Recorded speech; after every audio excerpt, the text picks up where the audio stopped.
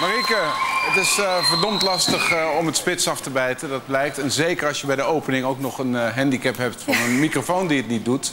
En als je dan meteen daarna moet zingen, is dat heel lastig. En dat was ook te horen.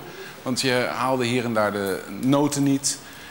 ik wil wel je een compliment maken dat ik vind als je met zulke naaldhakken... Het is voor het eerst dat we met ballet bezig zijn. En ik heb het al eerder gezegd, de lat gaat steeds een stukje omhoog. Nu moet je er ook nog bij bewegen. En ik vind dat je dat heel knap doet op zulke naaldhakken helemaal. Thank you. Jeremy?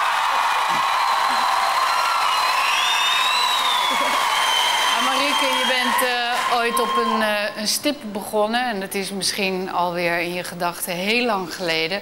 Maar eigenlijk nog maar heel kort. En als je ziet wat voor prestatie jij, en jullie allemaal... maar jij nu als eerste in deze rij hier neerzet... dan uh, kan ik alleen maar zeggen... ik vind het heel knap hoe je nu het bewegen en het zingen met elkaar coördineert. Want dat vereist toch wel enig denkwerk. Goed gedaan.